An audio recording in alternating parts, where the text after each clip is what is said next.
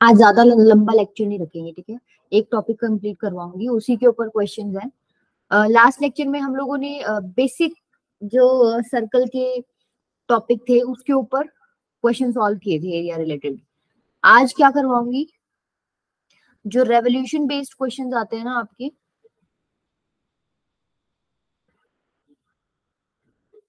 उनको डिस्कस करेंगे, ठीक है? मतलब पाँच छह क्वेश्चंस इकट्ठे कर लोगे ना तो आइडिया हो जाएगा कि इनमें कैसे अटेम्प्ट करने हैं क्वेश्चंस तो ये लगभग साथ ही हैं। अब देखो रेवोल्यूशन बेस्ड क्वेश्चंस में आप लोगों को एक ही चीज़ पता होनी चाहिए। सपोज़ एक सर्कल है एक व्हील ले लो, ठीक है? ये एक व्हील है आपका।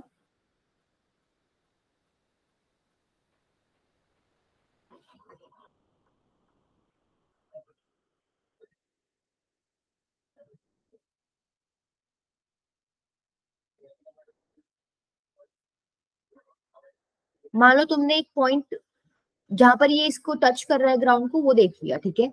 अब तुम इसको क्या कर रहे हो? रोटेट कर रहे हो या घुमा रहे हो, ठीक है? तो इस तरफ़ से आपने क्या किया इसको? फोर्स लगाया, ये घूम गया, ये पॉइंट घूम के ऊपर आ जाएगा सपोज़ ये पॉइंट इधर आ गया मतलब घूम के।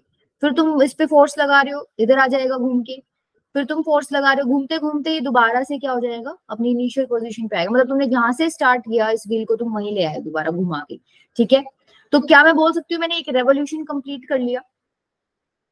या मतलब मैंने नहीं, एक व्हील ने एक रेवोल्यूशन कंप्लीट कर लिया? तो जब इसने एक रेवोल्यूशन कंप्लीट कर लिया, एक पूरा चक्कर मार लिया, उस टाइम पर इसने कितना डिस्टेंस ट्रेवल किया है? जब एक चक्कर पूरा कंप्लीट हो गया, तुम इस पॉइंट से स्टार्ट हुए थे, इस पॉइंट को घुमा घुमा के घुमा घुमा के तुम लोग वापस इधर ही ले आए, इसी पॉइंट पर ले आए। तो उसने एक चक्कर कंप्लीट कर लिया बेसिकली एक चक्कर कंप्लीट कर लिया मतलब उसने अपनी सरकम के इक्वल क्या कर लिया? डिस्टेंस कवर कर लिया। तो यही चीज़ आपको ध्यान रखनी है इसमें। लिख लो बेशक उसको। Distance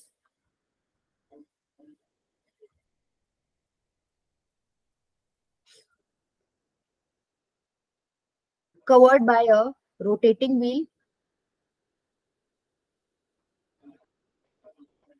in one revolution एक चक्कर में कितना डिस्टेंस कवर किया है रोटेटिंग व्हील ने? किसके इक्वल हो जाएगा? सरकमफ्रेंस ऑफ़ दी व्हील के इक्वल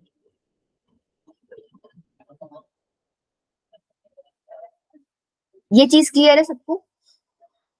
Yes, एक रेवोल्यूशन में two pi R units distance क्या करता है आपका भी कवर करता है। तो मान लो इसको शॉर्ट में आप लिखना चाहो तो वन रेवोल्यूशन में एक wheel two pi R units अब यूनिट्स में वो डिपेंड करता है आपके क्वेश्चन में क्या यूनिट दे रखी है। यहाँ पे मैं जनरल बता रही हूँ। तो एक रेवोल्यूशन में एक wheel two pi R units cover करेगा, ठीक है? तो कोई बता पाएगा वन यूनिट में कितने रेवोल्यूशन करेगा वो? यूनिटरी मेथड लगाना है। उल्टा लिखा हुआ है बस मैंने। टू पाई आर यूनिट्स में वन रेवोल्यूशन तो वन यूनिट में कितना हो जाएगा? One by two pi R revolution तो बेसिकली आपको बस ये फंडा क्लियर होना चाहिए कि एक रेवोल्यूशन में two pi units distance cover होता है उसके बाद आपको क्वेश्चन में क्या करना पड़ेगा? यूनिटरी मेथड लगाना पड़ेगा डिपेंडिंग क्वेश्चन में उसने क्या बोल रखा है। ठीक है? सिर्फ़ एक ये चीज़ अगर आपको समझ आती है तो आप इस क्वेश्चन मतलब इस टॉपिक पे बेस सारे क्वेश्चन कर सकते हो। जैसे सपोज़ क्वेश्चन आपका आ गया। A bicycle wheel uh, makes 5000 revolution in moving 11 kilometer. Find of the wheel बताएगा कोई आंसर बताओ एक बार। ट्राई करके देखो।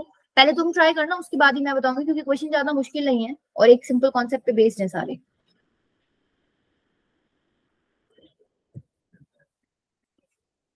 कह रहा है कि एक साइकिल है, उसने 11 किलोमीटर चली है, ठीक है? तो उस टाइम पे जो व्हील्स हैं, उसने पाँच हज़ार रेवोल्यूशन कवर किए हैं। आपको डायमीटर निकालना है व्हील का। तो आपको कॉन्सेप्ट क्या पता है? कि वन रेवोल्यूशन में कितना डिस्टेंस कवर होता है? वन रेवोल्यूशन अगर व्हील कवर करेगा या कंप्लीट करेगा तो उस टाइम पे उसका कितना डिस्टेंस कवर होगा? वन रेवोल्यूशन में two pi R units cover होते ठीक है?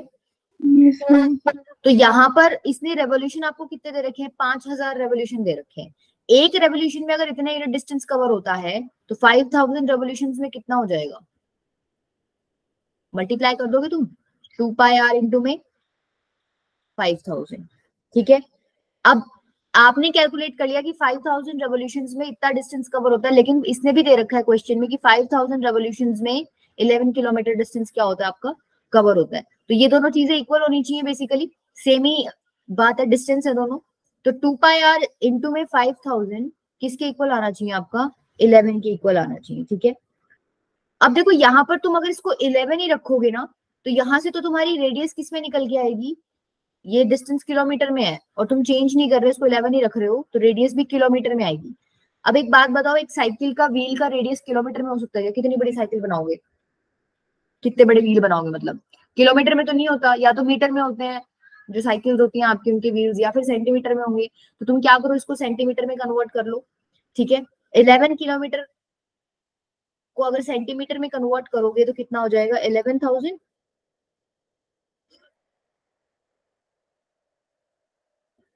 अब यहाँ से सोल्व करके निकाल लो अपना आर आर की वैल्यू निकालनी है बेसिकली वैसे तो तुम्हें डायमीटर निकालना था, लेकिन रेडियस निकालोगे उसके लिए रेडियस का डबल करके फिर डायमीटर आ जाएगा। तो यहाँ से आर कितना आ जाएगा? देखो, तीन ज़ीरो से तीन ज़ीरो तो कटी गई। ये हो गया इलेवन बाय फाइव इंटू में टू पाई अब कुछ दे नहीं रखा क्वेश्चन में तो पाई की वैल्यू क्या लोगे? ट्वेंटी टू बाय सेवन तो गया eleven by five into two into seven by twenty two तो काट दो इसको इलेवन टू जो ट्वेंटी टू कितना हो गया ये? सेवन बाई ट्वेंटी सेंटीमीटर ठीक है? क्योंकि आपने किलोमीटर को सेंटीमीटर में चेंज किया तो जो रेडियस निकलेगी बेसिकली उसकी यूनिट क्या हो जाएगी? सेंटीमीटर अगर radius seven by twenty centimetre है तो आपका डायमीटर कितना हो जाएगा? अच्छा मैंने यहाँ सेंटीमीटर में करना था तो मैंने गड़बड़ कर दी यहाँ पे। ये तो मैंने बेसिकली मीटर में कन्वर्ट किया ना, कोई बोला भी नहीं उस टाइम पे। इलेवन किलोमीटर को मीटर में करोगे तो कितना आएगा बताओ? इलेवन थाउज़ेंड मीटर बनेगा ना? बनेगा कि नहीं बनेगा? तो ये जो मैंने कन्वर्जन किया था ना सेंटीमीटर में नहीं था ये, गलती से मैं वहाँ बोल गई। ये मीटर में था।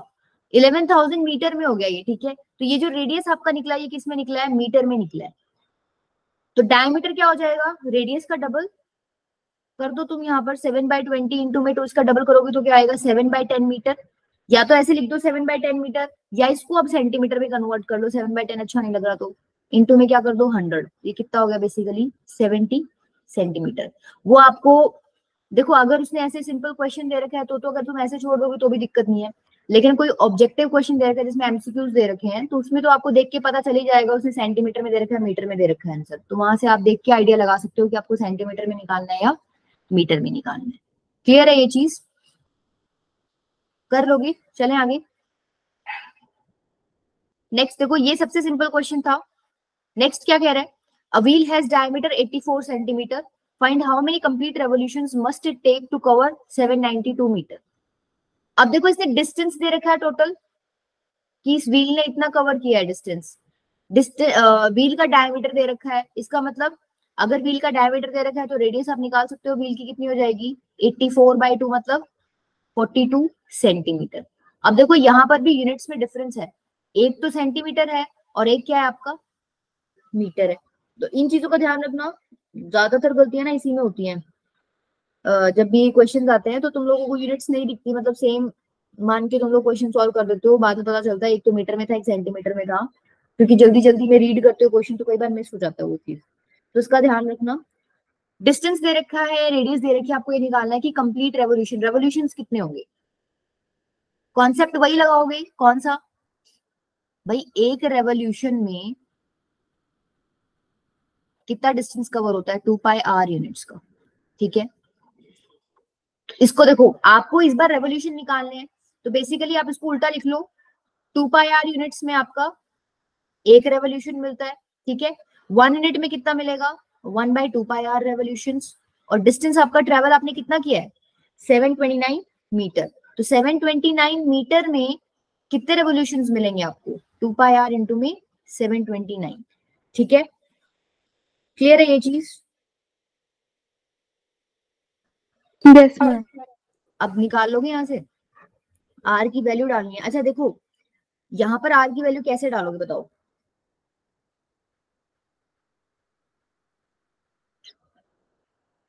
या तो तुम पहले इसको निकाल लो सॉल्व कर लो। आर को मीटर में चेंज कर लो। या फिर तुम पहले ही 729 को सेंटीमीटर में चेंज करके वैसे निकाल लो। मर्ज़ी है तुम्हारी दोनों यूनिट सेम होनी चाहिए। मीटर मीटर होनी चाहिए या फिर सेंटीमीटर सेंटीमीटर होनी चाहिए। मैं क्या करती हूँ, इस 729 को सेंटीमीटर में कन्वर्ट कर लेती हूँ। इजी रहेगा मल्टीप्लाई बाय हंड्रेड कर देना, ठीक है? तो देखो क्या हो जाएगा one by two into pi की value twenty two by seven कुछ दे नहीं रखी क्वेश्चन में। आर की वैल्यू क्या हो जाएगी फोर्टी टू सेंटीमीटर इंटू में सेवन ट्वेंटी नाइन अच्छा ये मीटर में था, इसको सेंटीमीटर में कर लेती हूँ इंटू में हंड्रेड करके, ठीक है? बस इसको सॉल्व कर लो अब। देखो कितना आ रहा है आंसर यही हो जाएगा आपका आंसर इतने ही रेवोल्यूशन हो जाएँगे।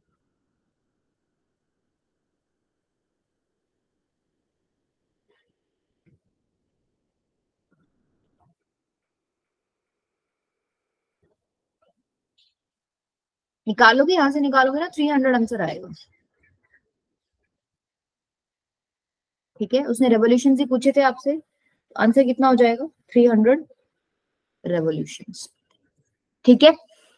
तो मतलब एक कॉन्सेप्ट आपको पता है ना, उसके ऊपर ही सारे क्वेश्चन हो जाएँगे।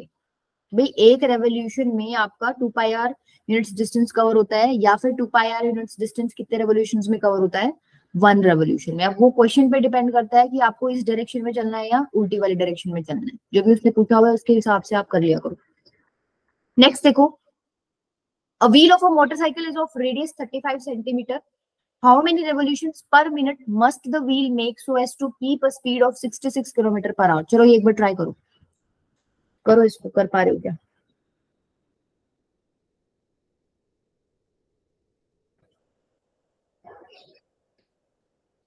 यूनिट्स का ध्यान रखना है यहाँ पर।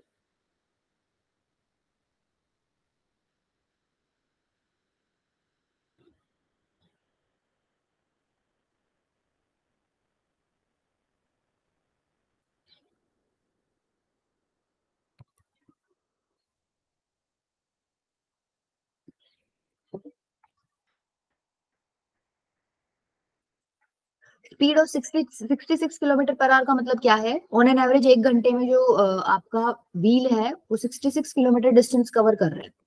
ठीक है? एक घंटे में 66 किलोमीटर डिस्टेंस क्या कर रहा है? ट्रेवल कर रहा है।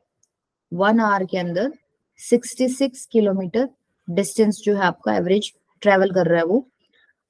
अब वही कॉन्सेप्ट लगाना है। कौन सा? आपको पता है टू पाई आर जो डिस्टेंस है टू पाई यूनिट जो डिस्टेंस है, वो वन रेवोल्यूशन में कवर होता है।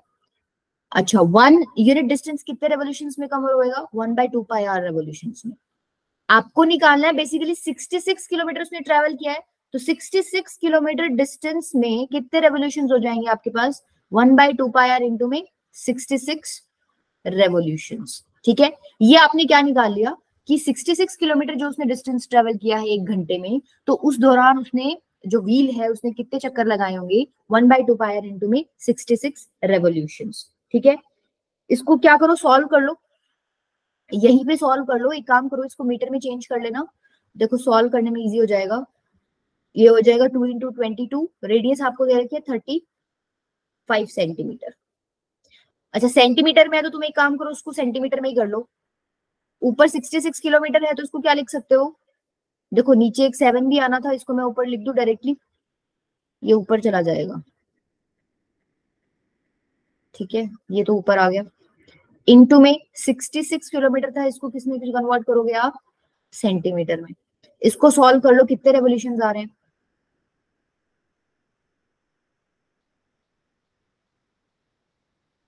देखो, ये सेवन से कट जाएगा सेवन फाइव से थर्टी फाइव ये बेसिकली हो गया टू हंड्रेड ठीक है?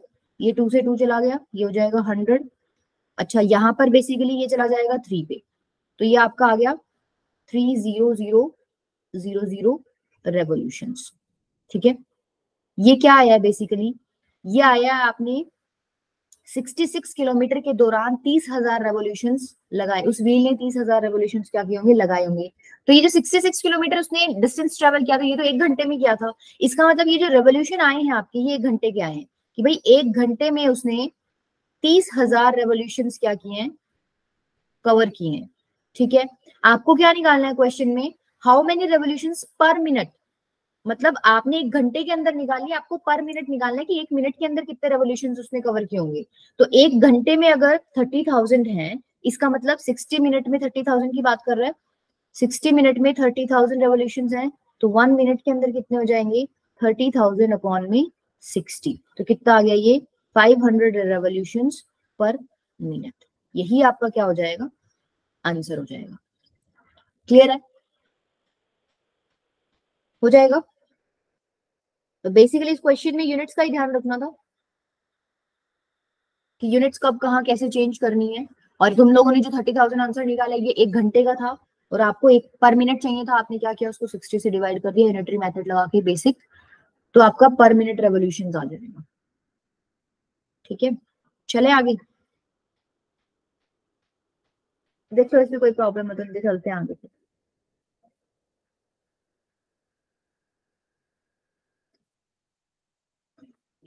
चलो नेक्स्ट देखो A boy is cycling such that wheels of cycle are making 140 revolutions per minute. एक तो इंफॉर्मेशन आपको ये दे रखी है कि एक मिनट में वन मिनट में 140 रेवोल्यूशंस लग रहे ठीक है? और आगे क्या दे रखा है? If the diameter of the wheel is 60 centimetre diameter आपको दे रखा है कितना? 60 सेंटीमीटर तो यहाँ से आपके काम की चीज़ आप निकाल लो रेडियस कितना हो जाएगा? 30 centimetre. Calculate speed per hour. Speed per hour निकालनी है आपको। निकालो ट्राई करो एक बार।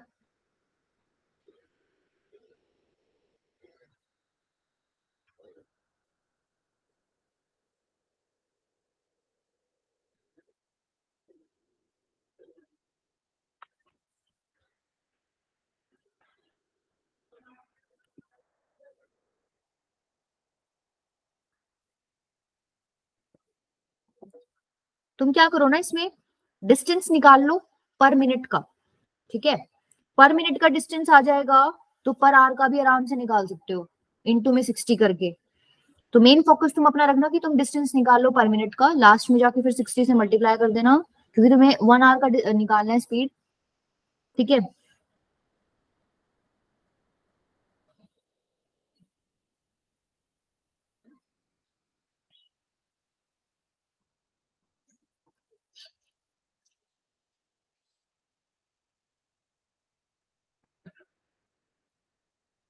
देखो कैसे करोगे इस क्वेश्चन को आप?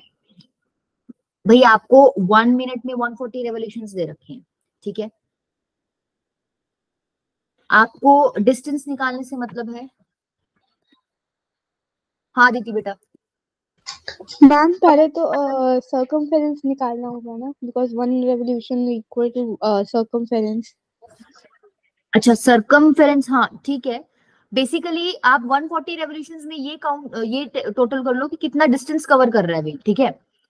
तो सरकमफ्रेंस के थ्रू ही निकलेगा बेसिकली वो। कैसे? देखो वन मिनट या फिर आपको यूँ पता है कि एक रेवोल्यूशन के अंदर या एक रेवोल्यूशन के आ, मतलब कवर करने में two pi R units distance क्या होता है आपका? कवर होता है। अच्छा आपको 140 रेवोल्यूशंस में निकालना है। एक रेवोल्यूशन में इतना है तो 140 रेवोल्यूशंस में कितना हो जाएगा? टू पाई आर को 140 से मल्टीप्लाई कर दोगे? ठीक yes, है तो इसको यही सॉल्व कर लो कितना हो जाएगा? Two into twenty two by seven R की वैल्यू आपकी कितनी है? Thirty thirty into one forty तो ये ट्वेंटी हो गया। कितना हो गया? यहाँ से सॉल्व करोगे तो?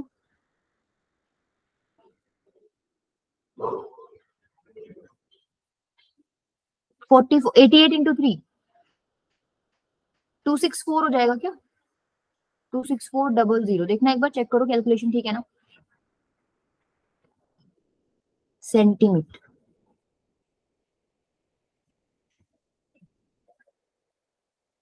ठीक है? इतना निकलेगा। 140 yes, रेवोल्यूशन के दौरान उसने इतना डिस्टेंस कवर कर लिया। ठीक है? Two six four double zero centimetre. अब two six four double zero centimetre इसको मैं ऐसे भी लिख सकती हूँ ना।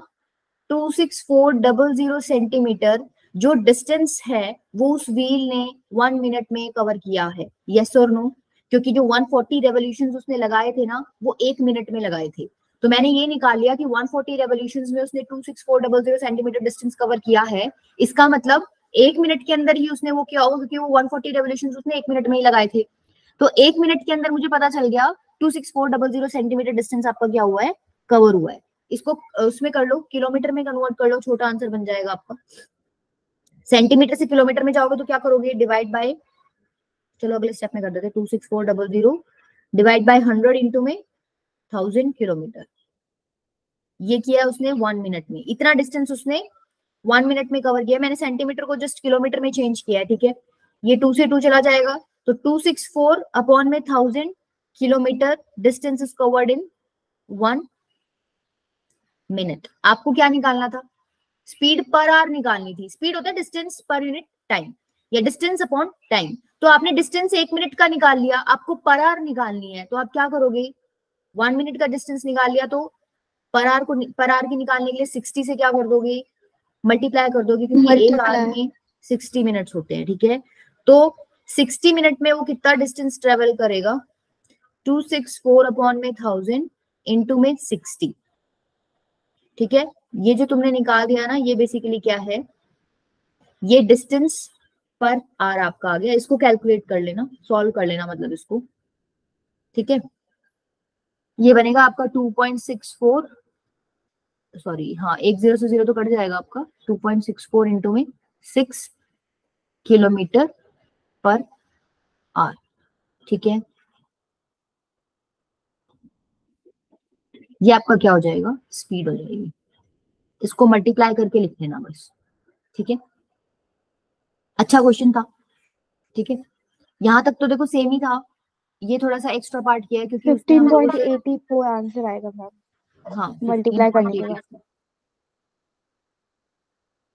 बस ये जो काम है ना ये वाला स्टेप हमने एक्स्ट्रा किया क्योंकि उसने अपने से स्पीड पूछ लिया था। अदरवाइज़ यहाँ तक का काम तो अभी तक हम पिछले क्वेश्चंस में भी करते आ ही रहे ठीक है? तो ये एक अलग से स्टेप है। और यही इंपॉर्टेंट है, यहाँ पे यूनिट्स में हमने कन्वर्जन किया है इसमें गलती हो जाती है तो इसको ध्यान से करना। नेक्स्ट देखो अब। चलो इसको सॉल्व करो, छोटा ही है। Find number of revolution made by circular wheel of area 1.54 square metre in rolling a distance of 176 metre सब कुछ दे रखा है तुम्हें, बस इसमें फॉर्मूला ही लगाना है डायरेक्टली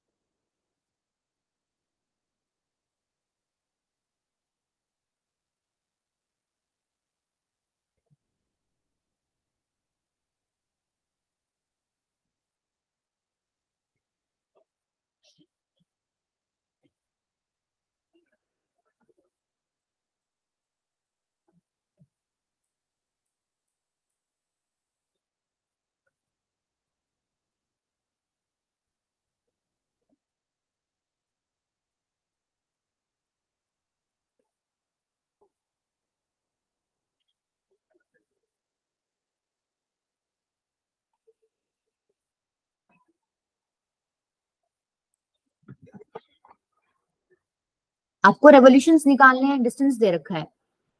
तो डिस्टेंस uh, दे रखा है तो देखो आपको ये वाला कॉन्सेप्ट लगाना पड़ेगा two pi R distance cover करने में एक रेवोल्यूशन लगता है। वन में कितना हो जाएगा? One by two pi R revolution आपको डिस्टेंस दे कितना रखा है? One seventy six metre one seventy six metre के अंदर कितना हो जाएगा? One by two pi R into में वन सेवेंटी सिक्स तो कॉन्सेप्ट तो ये लगेगा। लेकिन अब इसमें इस क्वेश्चन में क्या दिक्कत होगी? आपके आर जो है डायरेक्टली नहीं दे रखा उसने। आपको एरिया दे रखा है। कोई नहीं एरिया दे रखा है तो आपको पता है सर्कुलर व्हील का एरिया कितना हो जाएगा? Pi R square pi R square की वैल्यू दे रखी है 1.54 ठीक है? 1.54 मतलब पाई आर स्क्वायर की वैल्यू आपको बेसिकली दे रखी है 154 अपॉन में 100 अब पाई की वैल्यू से दे रही रखी है तो क्या ले लोगे? 22 by seven twenty two by seven into R square is equals to one fifty four upon में हंड्रेड अब इसको देखो सॉल्व कर लो। ये कट ही जाएगा पूरा पूरा ट्वेंटी टू सेवन से वन फिफ्टी फोर होते हैं। ठीक है तो ये आर स्क्वायर की वैल्यू कितनी आ गई? सेवन इंटू सेवन अपॉन में टेन इंटू टेन मतलब आर की वैल्यू कितनी आ जाएगी? सेवन अपॉन में टेन मीटर क्योंकि एरिया मीटर में था तो रेडियस भी क्या हो जाएगी? मीटर में। तो ये बस पुट करके अब आंसर निकाल लो। 176 मीटर में कितने रेवोल्यूशन हो जाएँगे? वन बाई टू इंटू में twenty two by seven R की वैल्यू आपने निकाली है सेवन बाई टेन इंटू में वन सेवेंटी सिक्स तो ये कट जाएगा, ठीक है? ये भी कट रहा है आपका eleven two twenty two eleven one eleven eleven six sixty six और ये जाएगा फोर और ये चला जाएगा फोर पे फोर फोर सिक्सटीन ठीक है? तो आंसर कितना आ गया आपका? कितना आ गया बताओ? ये टेन ना नीचे है, इसको ऊपर ले जाओगे, ऐसे मत कर देना फोर बाय टेन ये फोर्टी रेवोल्यूशन हो जाएगा। ठीक है? तो आंसर हो गया कितना? नंबर ऑफ़ रेवोल्यूशन आपको निकालने थे फोर्टी रेवोल्यूशन आपका आंसर हो जाएगा। चले आगे, इस क्वेश्चन में आपको डायरेक्टली रेडियस नहीं दी हुई थी तो आपने क्या किया? पाई आर स्क्वायर एरिया वाला कॉन्सेप्ट यूज़ करके रेडियस निकाल लिया और जस्ट उसके बाद अपने जो भी आप कॉन्सेप्ट पढ़ रहे हो रेवोल्यूशन वाला, उसमें पुट कर दिया। ठीक है? इतना ही डिफरेंस था, और ज़्यादा कोई डिफरेंस नहीं है क्वेश्चन में। एक और कर लो लास्ट इस पे। A car travels one, one kilometer distance in which each wheel make one 450 complete revolutions. Find the radius of wheel. Car जो है एक किलोमीटर डिस्टेंस ट्रेवल कर रही है ठीक है जिसमें हर एक wheel basically 450 complete revolution cover कर रहा है find radius of wheel radius निकालनी है व्हील की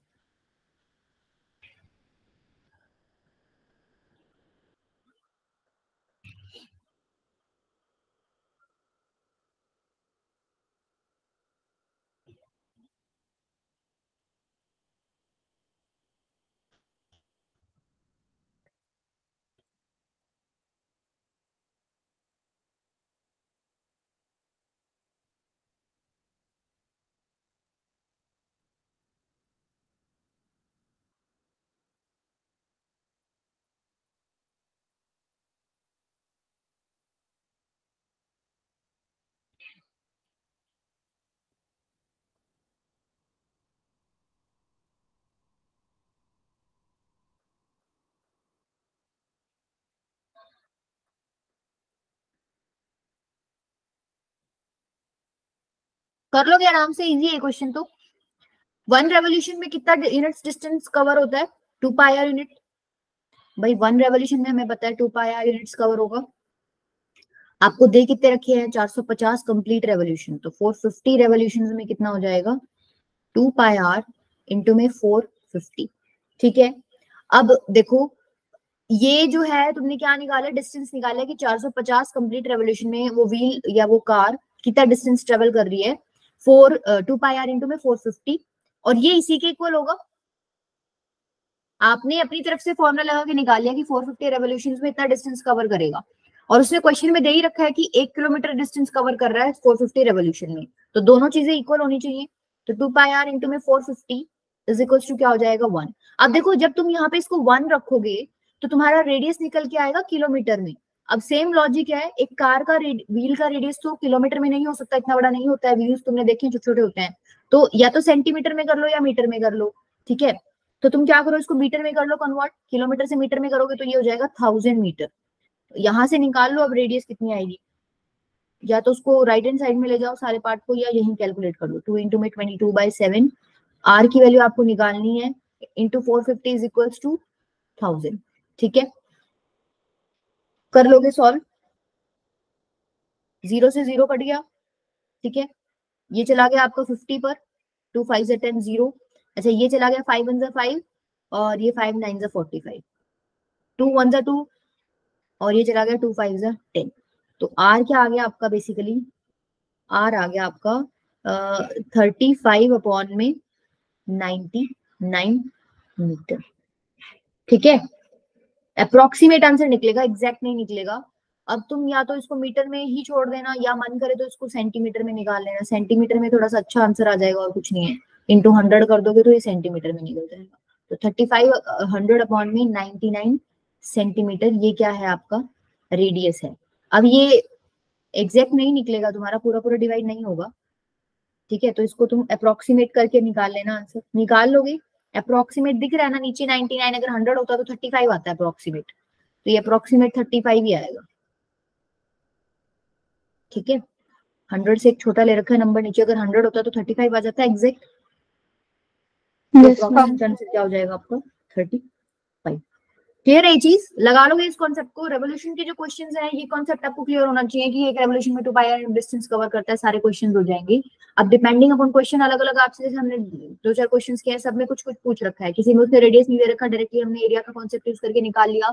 किसी में उसने स्पीड पूछ रखी है, ठीक है? किसी में उसने डिस्टेंस मतलब हमें किसी में डिस्टेंस निकालने से फ़ायदा हो रहा है, किसी में नंबर ऑफ़ रेवोल्यूशन निकालने को बोल रहे हैं तो वो क्वेश्चन पे डिपेंड करता है, कुछ भी पूछ सकता है, बस आपको ये फॉर्मुला पता होना चाहिए, ये कॉन्सेप्ट पता होना चाहिए कि एक रेवोल्यूशन में एक wheel two pi R units क्या करता है कवर करता है। अब देखो नेक्स्ट क्या है आपका concept sector of a circle sector of a circle समझने से पहले आपको पता होना चाहिए आर्क क्या होती है सर्कल की। आर्क की कोई डेफिनेशन दे सकता है?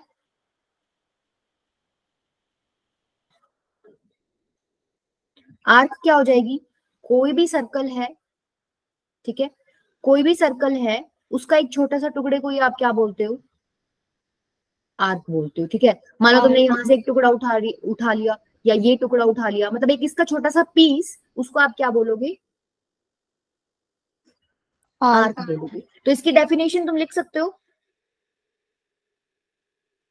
देखो दो तरीकों से लिख सकते हो या तो आप लिख सकते हो part of boundary of circle या तो ऐसे लिख सकते हो या फिर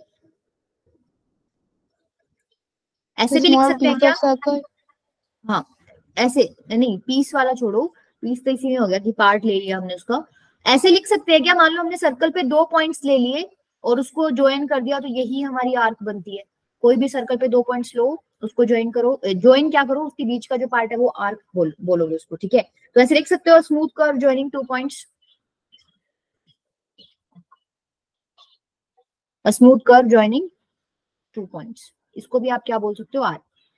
बोलने के तरीके हैं मतलब तो सेम ही है। एक टुकड़ा ले रखा तुमने सर्कल का बेसिकली ठीक है? क्लियर है इतनी चीज़? आर्क ऑफ़ सर्कल लिख लोगे। अब देखो, इसकी नेमिंग देख लो।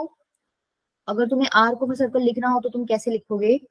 सपोज़ तुमने दो पॉइंट्स ले लिए। एक तो ये ले लिया ए एक ये ले लिया बी अब जब तुमने ये दो पॉइंट्स ले लिए तो तुमको दिख रहा है फिगर में कि इन दो पॉइंट्स की वजह से तुम लोग दो आर्क्स ले सकते हो यहाँ पर। एक तो ये वाली ले लो, ठीक है?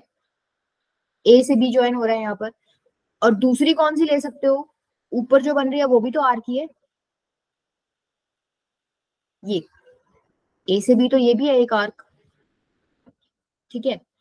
तो जब आपको ऐसे दो पॉइंट्स गिवन हो तो आप को दिख रहा है सर्कल दो पार्ट्स में डिवाइड हो गया दो आर्क्स बन रही है। तो जो बड़ी वाली आर्क है उसको क्या बोल दोगे? मेजर आर्क और जो छोटी वाली आर्क है उसको क्या बोल दोगे? माइनर माइनर आर्क अच्छा कोई रेफरेंस पॉइंट लेना हो ये मेजर माइनर देखने के लिए तो तुम बेसिकली क्या देखते हो? सेमी सर्कल देखते हो। मतलब क्या? अगर एक सर्कल लिया है तुमने और सपोज़ ये जो दो पॉइंट्स तुमने लिए थे ये तुमने डायमीटर के ही एंड पॉइंट्स ले लिए। ठीक है? यहाँ पर तो ये डायमीटर के एंड पॉइंट्स नहीं लिए थे मैंने, ऐसे ही दो पॉइंट्स लिए थे अलग से। लेकिन मैंने इस बार क्या किया कि डायमीटर के, ये तुम्हारा डायमीटर है, इसके एंड पॉइंट्स ले लिए और यहाँ से मैंने दो आर्क्स देखी, एक तो ये बन रही है, ठीक है, और एक आर्क बन रही है ये। क्या ये दोनों आर्क्स इक्वल होगी? तुम्हें पता है ये सर्कल का आधा हिस्सा है, ठीक है डायमीटर और ये जो ऊपर बन रहा है, ये वाला, ये पार्ट जो सर्कम है, उसका हाफ़ पार्ट है। और ये भी सरकमफ्रेंस का आधा हिस्सा है क्योंकि तुमने जो एंड पॉइंट्स है वो डायमीटर के डायमीटर के ऊपर लिए ठीक है? इसका मतलब इस केस में इसको क्या बोलोगे? इस केस में तो उसको सेमी सर्कल ही बोल दोगे? Yes, तो तुमको जो ये मेजर और माइनर डिफाइन करना है ये सेमी सर्कल को रेफरेंस लेके ही कर सकते हो। अगर किसी आर्क की लेंथ जो है सेमी सर्कल से छोटी है तो तो कैसी हो जाएगी वो? माइनर आर्क हो जाएगी। और अगर किसी आर्क की लेंथ सेमी सर्कल से बड़ी है तो उसको आप क्या बोल सकते हो? मेजर आर्क बोल सकते हो। ठीक है? अब देखो नेमिंग देख लो इसकी।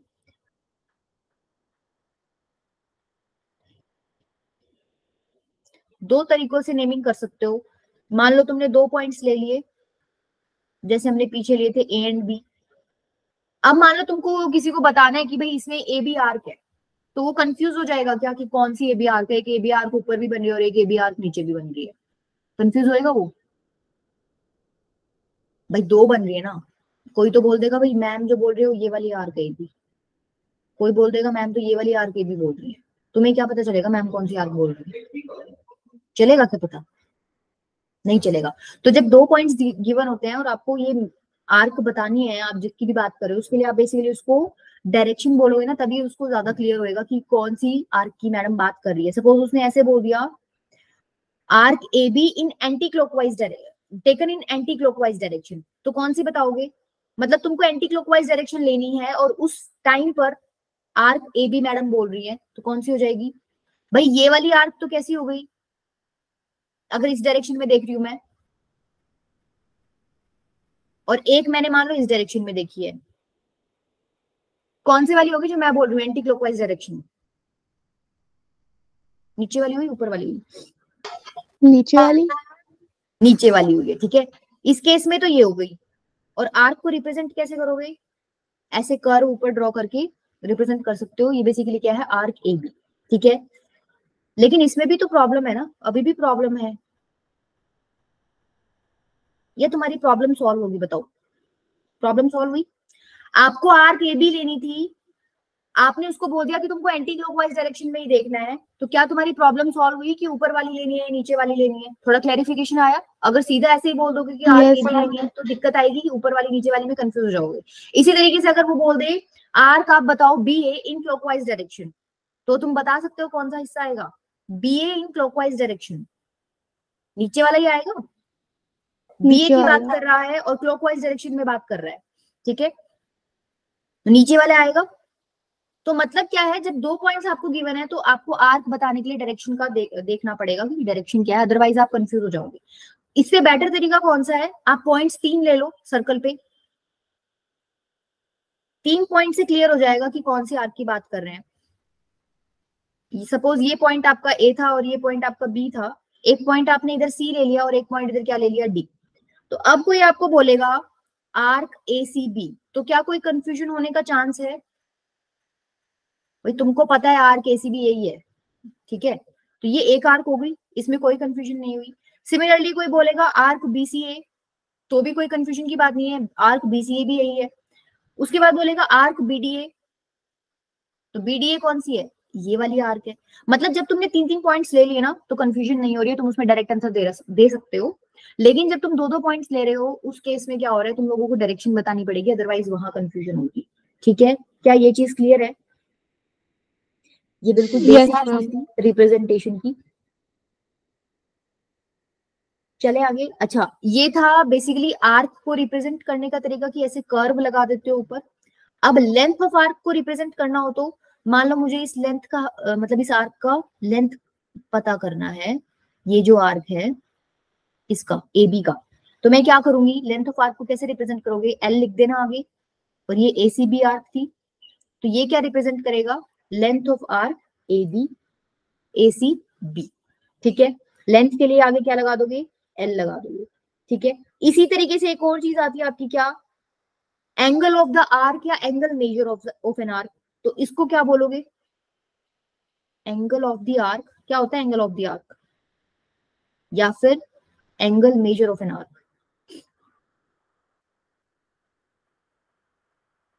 क्या होता है ये? कोई भी आर्क है, वो सेंटर पे जितना एंगल सबटेंड कर रही है, उसी को आप क्या बोलते हो? मान लो ये आर्क है, तुमने उठा लिए इनके एंड पॉइंट्स ठीक है? ए और बी और तुमने ज्वाइन कर दिया रेडियस से, ठीक है? आई मीन सेंटर से तो ये रेडियस ही होगी बेसिकली तो ये जो बीच में एंगल बन रहा है, यही बेसिकली क्या है? एंगल ऑफ़ द आर्क या फिर angle measure of the arc ठीक है? और इसको कैसे लिखोगे, इसको रिप्रेजेंट कैसे करोगे? लेंथ के लिए तुमने एल लगा दिया था एंगल मेजर के लिए क्या कर दोगे? एम लगा दोगे आगे। ठीक है? अगर ऐसे लिखा मिल जाए ना तो ये क्या लिख रहा है basically angle of the arc ACB लिख रहा है। इसका मतलब एसीबी सेंटर पर कितना एंगल बना रही है ये वो बता रहा है आपको। क्लियर है ये चीज़? यस ठीक है? अब दूसरा क्या आता है आपका? Relation between length of an arc and its degree measure मतलब बेसिकली इस लेंथ में और इस एंगल में रिलेशन निकालने को बोलेगा वो आपको।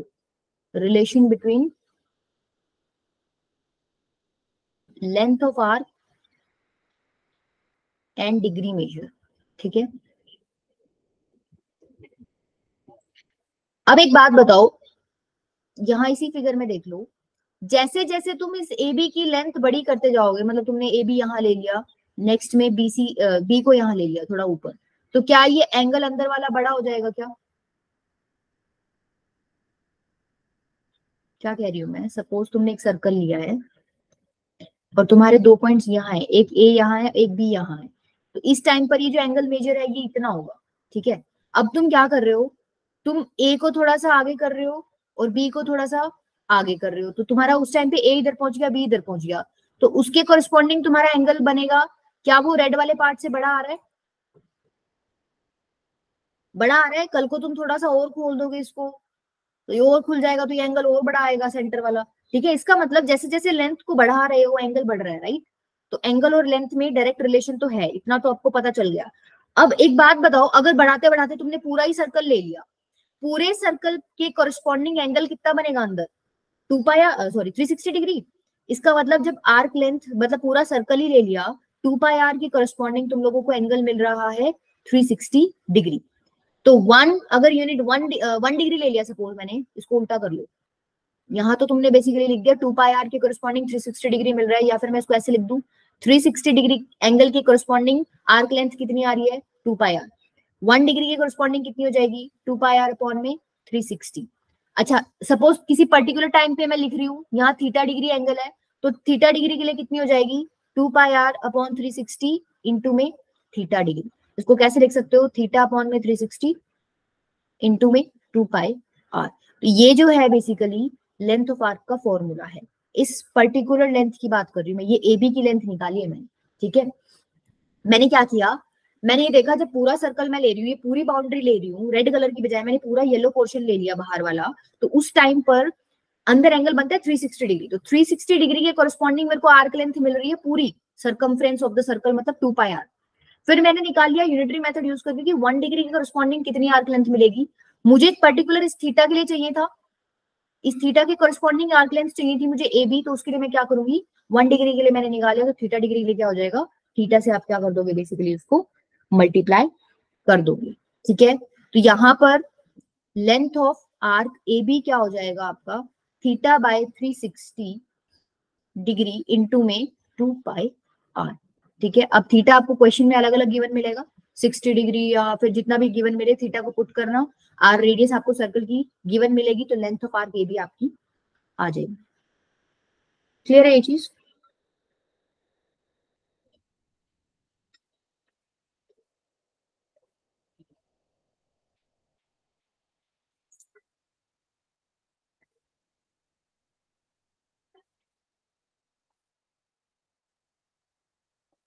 चले बेटा आगे, इसमें क्लियर है। इसमें देखो आपको थीटा गिवन मिलेगा। इस फॉर्मूले का यूज़ कैसे कर सकते हो आप? थीटा उसको बता देगा, मान लो, ठीक है? सपोज़ आपको ये दे रखा है कि एक आर्क है जिसका एंगल मेजर आपको दे रखा है, कुछ भी मान लो। कितना मानोगे? थर्टी सिक्स डिग्री मान लो सपोज़ ठीक है? जस्ट ऐसे ही मान रही हूँ मैं थर्टी सिक्स डिग्री मान लो और रेडियस मान लो आप कितनी? टेन सेंटीमीटर मान लो, ठीक है? रेडियस उसने दे रखी है टेन सेंटीमीटर तो बोल रहा है कि इस आर्क की लेंथ निकालो।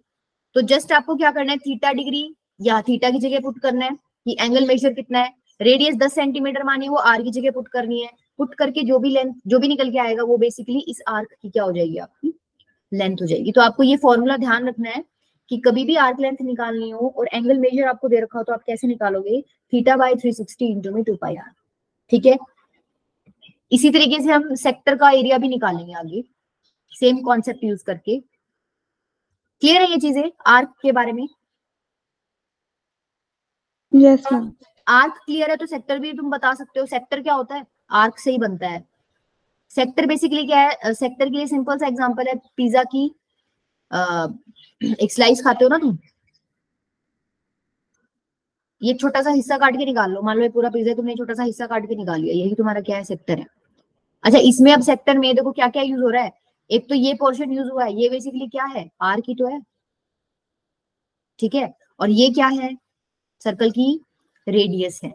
तो आर्क और रेडियस के बीच में जो भी आपका एरिया बन रहा है, उसको आप क्या बोलते हो? सेक्टर बोलते हो। ठीक है? अब सेक्टर भी तुमको दो टाइप के दिख रहे हैं यहाँ पर। एक तो ये सेक्टर हो गया। ठीक है? एक ऊपर वाला भी तो बन रहा है। ये भी तो तुम्हारी आर्क है। ये एक आर्क है। ठीक है? और ये दोनों रेडियस हो गई। इनके बीच में ये वाला एरिया क्या हो रहा है? इनक्लोज हो रहा है। तो ये वाला भी क्या है? आपका एक सेक्टर है। अब एक छोटा दिख रहा है, एक बड़ा दिख रहा है। छोटे वाला क्या हो जाएगा? माइनर सेक्टर तो बड़े वाला क्या हो जाएगा आपका? मेजर सेक्टर ठीक है? क्लियर है ये चीज़? रिप्रेजेंट कैसे करोगे? इसको तो सिंपली लिख दो। सेक्टर सपोज़ ये ओ है, ये पॉइंट ए है, ये पॉइंट बी है तो सेक्टर ओ बी ए लिख सकते हो, या सेक्टर ओ ए भी लिख दो। ठीक है, कुछ भी लिख सकते हो। बड़े वाले को लिखना हो तो?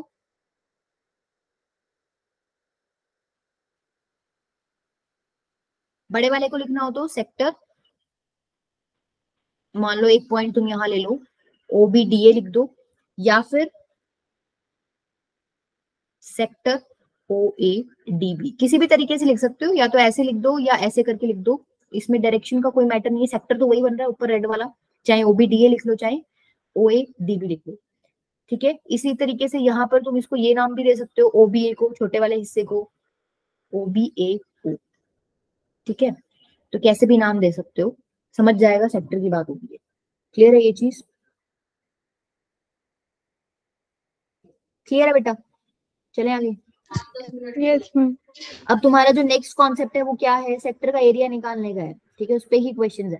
अच्छा एक बात और, अगर मान लो तुम्हें ये एंगल थीटा दे रखा है तो ये वाला एंगल तो आराम से निकाल सकते हो?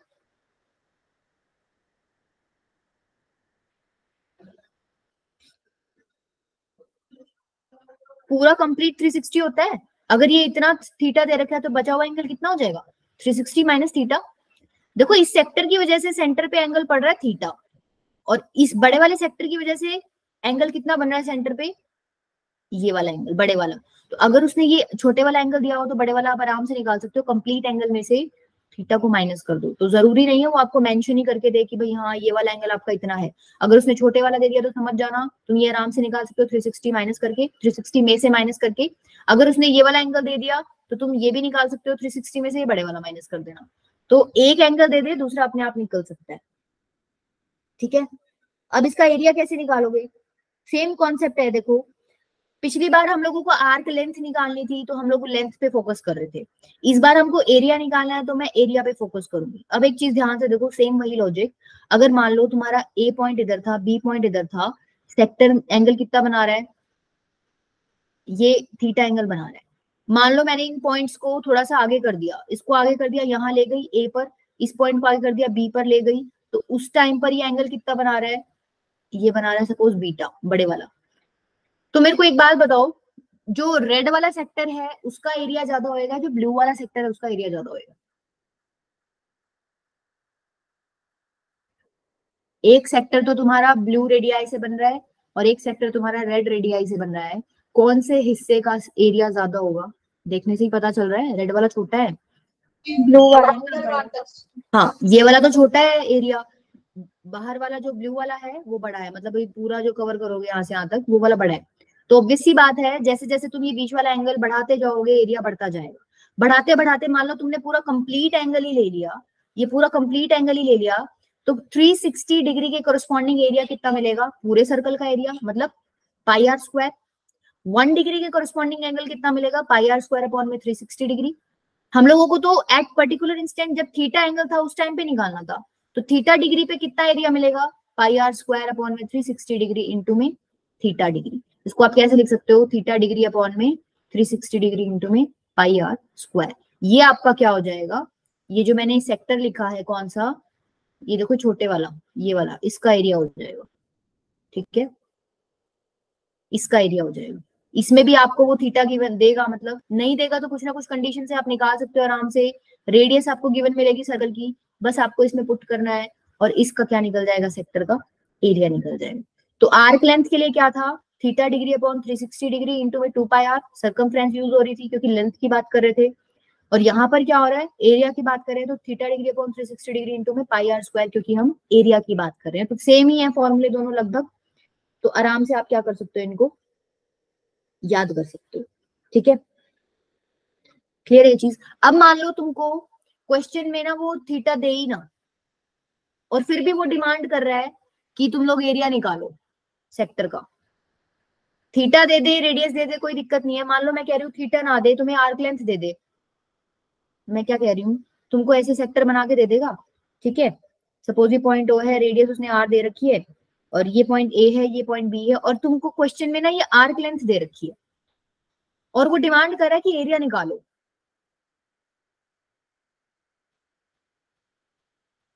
कैसे निकालो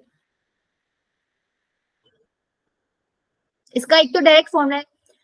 एक तो डायरेक्ट फॉर्मूला है, या फिर तुम यहाँ से पहले थीटा निकालोगे आर्क लेंथ का यही है ना फॉर्मूला इसकी वैल्यू तुमको एल दे रखी है। क्वेश्चन में कुछ ना कुछ गिवन मिलेगी। मान लो ट्वेंटी सेंटीमीटर दे रखी है। रेडियस भी आपको गिवन मिलेगा। तो यहाँ से थीटा डिग्री आराम से निकाल सकते हो। ये थीटा निकल जाएगा। ये थीटा निकलती तुम लोग एरिया में पुट कर सकते हो फॉर्मूले में।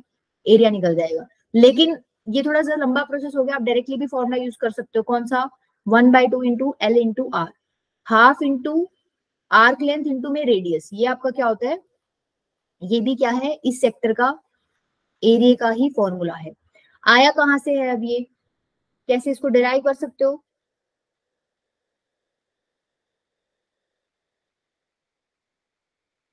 देखो, ये जो फॉर्मूला ना, इसी में थोड़ी छेड़खानी कर दो। कैसे?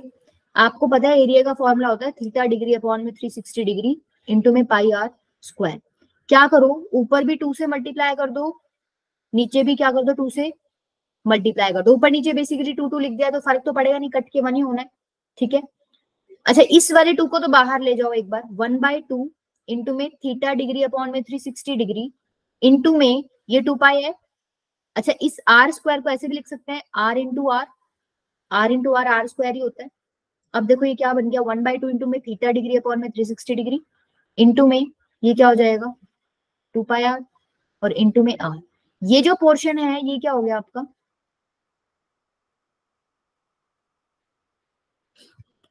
क्या बोल सकते हो इस पोर्शन को?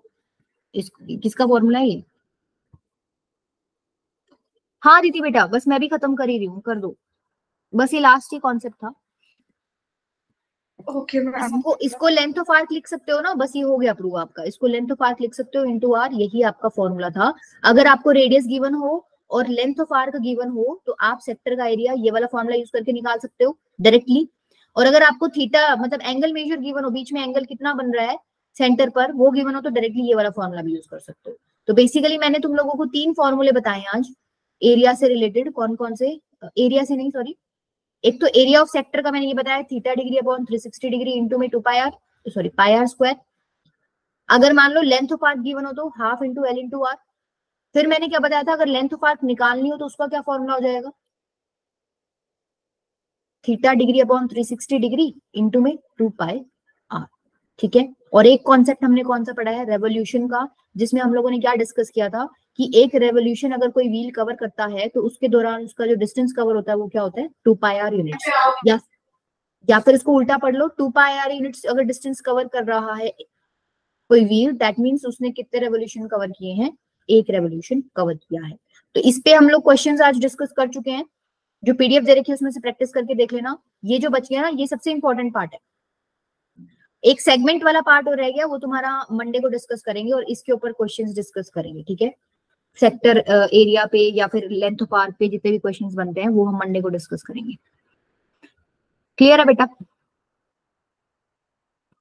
यस yes, ठीक है चलो फिर। टाइम भी हो गया अपना। बाकी मंडे को करते हैं।